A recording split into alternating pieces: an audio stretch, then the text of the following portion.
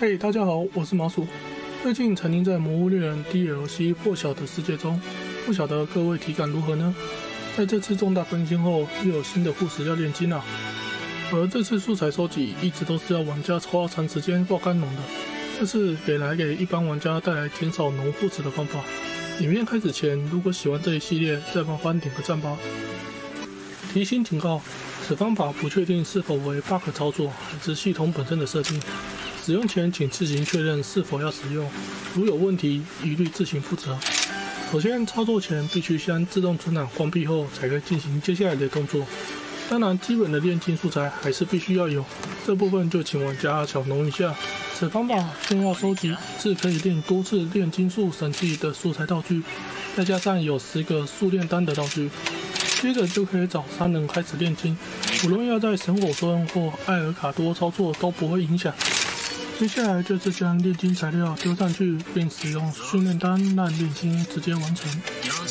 另外，请炼金完成后再一次领取，不要边使用边领取护石，这样会影响后续的流程操作。如画面显示，由于这些素材都不会消耗，所以可以不用在意炼金素材是否会超过底数，以最快的方法炼金完成就对了。炼金过程将画面加速，这边也再次提醒，有疑虑千万不要使用，请按照游戏的正常方法来炼金。完成后，我们可以开始检查这批是否有需要的护石。如果有，我们可以单轮重新读取记录，再以最小的素材点数来炼金。但记得前次炼金多少颗，这次就要炼金多少，才不会有失误。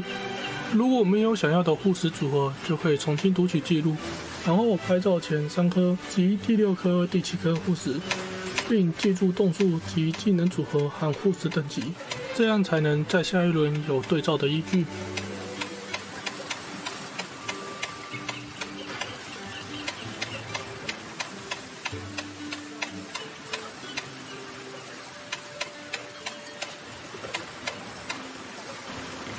不管是要领取还是伴奏，都不会影响后续的操作。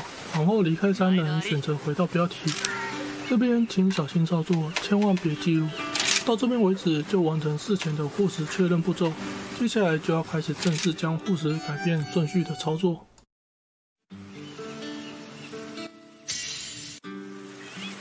重新读取后，我们来到三人这边继续炼金。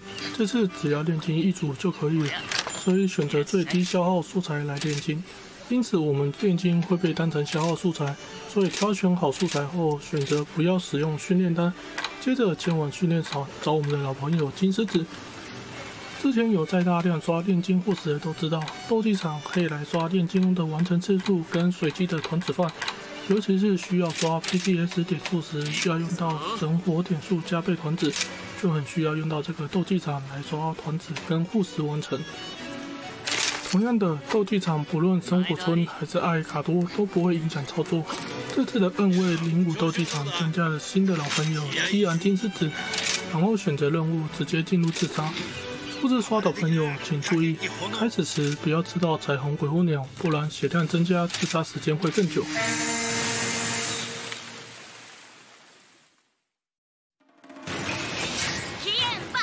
斗地场零一到零七全部通过后，不论成绩多少，都会有成就显示出来。有在收集成就的玩家可以来这边完成一下相关的成就影片，在上方的资讯栏可以看一下。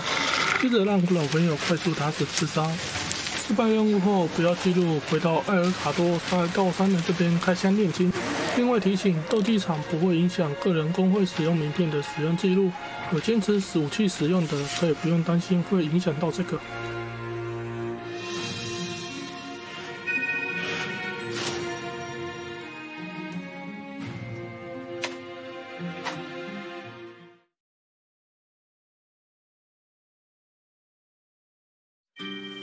回到艾尔卡多或神火村三人后，就会看到前五颗都是跟刚刚的护士一模一样的组合，表示如果只使用 SL 就会一模一样，无法改变顺序。这就是为什么只无法使用 SL 来刷护士的原因。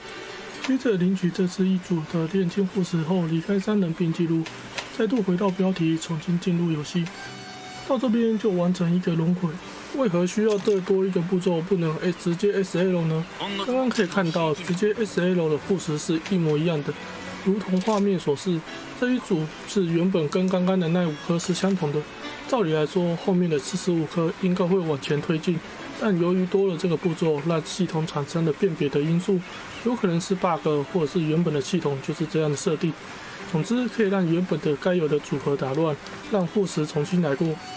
当然，对于老猎人玩家们，可以用大量的时间来浓，所以这个影片推荐给其他不想太浓的玩家的参考。回到游戏内容，后面可以看到，就如同一开始教学的操作，将十组炼金术神器加十个训练单炼金，完成快速炼金护石。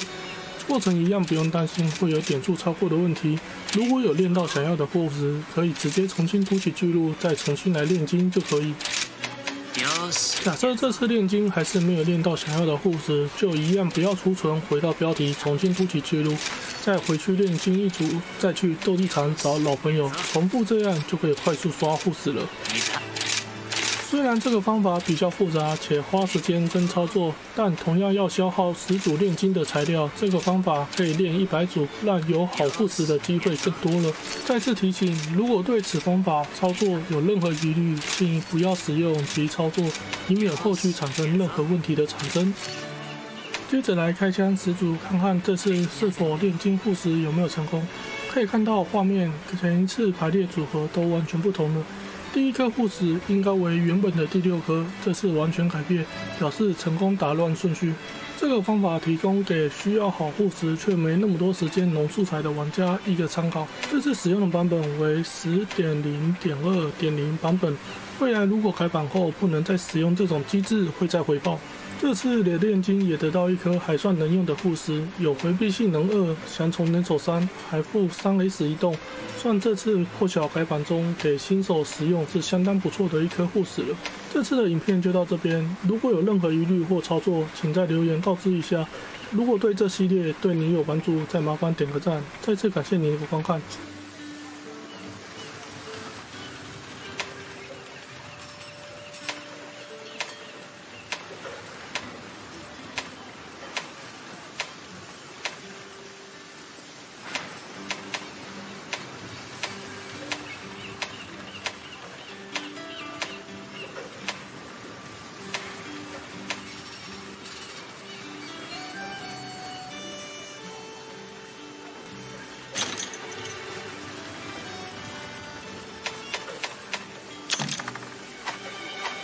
今後ともごひいきに。